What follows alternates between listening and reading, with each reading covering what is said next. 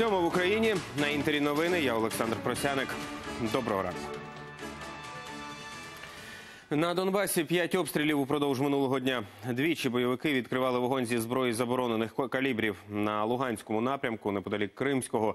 Українські позиції обстрілювали з мінометів та гранатометів. На Маріупольському напрямку ворог застосував міномети, гранатомети та стрілецьку зброю біля водяного. Крім того, окупанти провокували захисників гнутового зі стрілецької зброї. Не вщухає щоденна канонада і поблизу Зайцевого біля окупованої Горлівки. Найманці отримали свіжу партію боєприпасів із російського так званого гумконвою. Так пояснюють активність ворога українські бійці. З нашими захисниками на передовій спілкувалася Ірина Баглай. На нульовку, так бійці називають свої позиції, розміщені впритул до ворожих, нелегко дістатися. А коли вже дійшов, то одразу треба шукати укриття. Непонятно, откуда він стрельнув. Ну, от даєш. Олександр показує, які саме ворожі кулі прошивають укріплення наскрізь. Байка. Так російські найманці реагують на будь-яке пожвавлення на позиції, тож дозорні з окопів голови не піднімають. За противником стежать лише з оптичних приладів. Починають стріляти. Починає стріляти одиночними. Моють очередь, моють з автомата, з пулемета. Вдень тишу у Зайцевому переривають поодинокі постріли з автоматів та чутно, як розриваються гранати. А от вночі, військові кажуть, тут настає справжнє пекло. Зусюди летить, і навіть військові фіксували, що бойовики використовували проти них вогнемети. Зі всіх боків літає всяке. То тут навіть не очікує, з якого боку, що прилетить. Навколо все вигоріло. Це від трасерних куль бойовиків. Сюди все летить. Це ж не трасер у нас. Коли трасером б'є, за ним йде така, щоб видно, куди він стріляє. Темрявою бойовики намагаються скористатись максимально. Уночі важко засікти, звідки вони стріляють. ППС використовують для того, щоб їх не засікти. Ну, не дає спишки і майже і не чути звідки. Дуже важко вичислити Росії звук. Під таку стрілянину годі й чекати на більший калібр, пояснює Василь. Якщо вони починають вкупі стріляти, значить вже прилетить РПГ, значить вони вже свого прикривають, нас придушують. Спеціально, щоб гранатометчик виліз. Активізація пішла, пояснює Андрій, тому що бойовикам якраз підвезли боєприпаси. пару днів назад чули техніку, але це обходу було постачання боєприпасів. В них була тиша пару днів. Тепер опять активізація. Ірина Баглай, Андрій Костюк, Анатолій Воробей. Новини телеканал Інтер із Донецької області. Омбудсмену Людмилі Денисовій відмовили у зустрічі з незаконно ув'язненим у Росії українським журналістом Романом Сущенко- Сущенком. Про це вона написала на своїй сторінці у Фейсбуці. Денисова зауважила, що президент Путін гарантував їй, як уповноваженій Верховної Ради з прав людини, безперешкодний доступ до всіх українських політв'язнів, яких утримують у Росії у тимчасово окупованому Криму. Тож Денисова закликала Кремль розблокувати реалізацію гарантій. Українська омбудсмен уже два тижні перебуває в Росії, проте досі не потрапила до жодного бранця.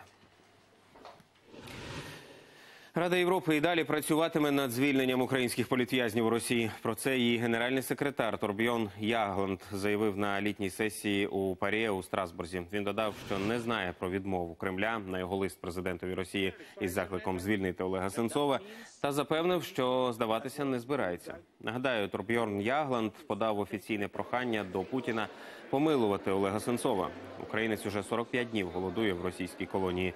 У Кремлі заявили, що він не може бути помилуваний на підставі прохання генсека Ради Європи. 60 днів тримання під вартою без права внесення застави. Такий запобіжний захід обрали для причетних до нападу на табір ромів у Львові. 20-річному організаторові та п'ятьом школярам. Пізно ввечері у суботу невідомі в масках і з ножами напали на тимчасове поселення ромів. Під час погрому загинула одна людина. Постраждали четверо. Серед поранених 10-річний хлопчик і жінка, яка намагалася його захистити. злочин, який підозрюється неповнолітній, є тяжким.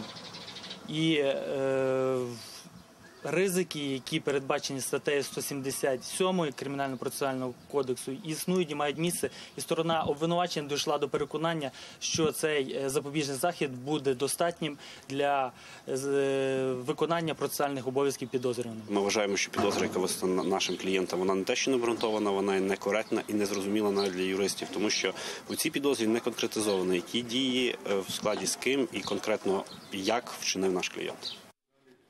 Одна людина загинула, 12 поранені внаслідок вибуху в лікарні американського міста Гейтсвіл. Він прогремів у недобудованій частині медичного закладу. Персоналу і пацієнтів евакуювали. Ударна хвиля була такою сильною, що в деяких районах міста двихтіли стіни та згасло світло. Причина вибуху поки що невідома, але слідчі вважають, що його осередок міг бути у котельні. Десятки лікарів вийшли на вулиці венесуельської столиці, вимагали підвищити зарплату. кажуть, коробки харчів і тих грошей, що їх зараз отримують від держави, не вистачає. Протестувальники показували стоптані черевики та зношений одяг. Нарікали також на інфраструктуру у лікарнях. кажуть, у корпусах не працюють туалети і більшість операційних. У Вашингтоні та Нью-Йорку протести проти рішення Верховного суду США залишити в силі імміграційний закон Дональда Трампа. Він забороняє в'їзд громадянам п'яти мусульманських країн. Десятки представників правозахисних організацій, а також самі іммігранти, вийшли на вулиці міста з плакатами без заборони, без стіни. Активісти називають закон дискримінаційним і вважають, що він ґрунтується на релігійних стереотипах. Президент Македонії відмовився підписати ухвалену парламентом угоду про зміну назви країни на Північну Македонію і назвав документ неконституційним. Утім, це навряд чи спричинить анулювання домовленості між Скоп'є та Афінами. Адже якщо парламент удруге підтримає зміни, президент уже не зможе заблокувати це рішення. Угоду про зміну назви колишньої Югославської республіки Греція і Македонія підписали 17 червня. Австрія почала масштабні навчання на кордоні зі Словенією на випадок закриття внутрішніх кордонів ЄС. За словами голови МВС країни, вони мають зміцнити контроль над нелегальним потоком біженців, зокрема на балканському маршруті. Хоча офіційно він перекритий, де-факто контрабандисти, як і раніше, заробляють великі гроші на переправлянні нелегалів. Проблема закриття внутрішніх кордонів для мігрантів стала центральною на терміновому саміті з питань біженців, що відбувся минулої неділі в Брюсселі. Потім дійти згоди на ньому європейським лідерам так і не вдалося. Вони різного походження з різних країн та з різними статками. Проте всі талановиті у Марокко влаштували конкурс Біженці мають талант. Які саме здібності демонстрували учасники? Давайте подивимося. Вони співають національних пісень, танцюють народні танці та якомога яскравіше намагаються презентувати рідну культуру. У Марокко уже вдруге відбувся конкурс талантів. Учасники мігранти з різних куточків світу. Захід приурочили до всесвітнього дня біженців. Оскільки їх кількість в Україні невпинно зростає, цьогоріч конкурсантів на сцені удвічі більше аніж торік, і таланти в них найрізноманітніші. У фінал потрапили усього дев'ятеро учасників. Усі вони отримали подарункові купони на одну тисячу євро та незабутні емоції. Я щасливий, що людям сподобалась моя творчість. Це наповнює моє серце теплом. Мета конкурсу не тільки відкриття нових талантів, це також можливість привернути увагу світової спільноти до проблем біженців. Кожен конкурсант намагався розповісти через виступ свою історію. Учасники вірять, творчість допоможе пробудити у глядачів людяність. Ми провели цей конкурс, щоб нагадати світу про існування сирійських біженців. Ми хотіли привернути увагу до мігрантської кризи у Марокко та інших країнах світу. Ініціатор проведення заходу управління Верховного комісара ООН у справах біженців у Марокко. Організатори уже не вперше проводять такі заходи і зупинятися не планують. Аліса Орлова, Оксана Гашева. Новини телеканал Інтер. Вдалий місяць. Австралієць виграв у лотерею тричі за останні 30 днів і поповнив свій банківський рахунок на 2,5 мільйони австралійських доларів. Ім'я улюбленця долі Карло Месетті. Свою анонімність він порушив, щоб зробити благодійну пожертву 50 тисяч доларів у лікарню святого Вінсента. Щасливчик також зізнався, якщо після першого виграшу подумав, що йому просто пощастило, то після третього переконався, що хтось допомагає йому згори. Поки що це все. Свіжа порція новин буде о восьмій. Тоді побачимося.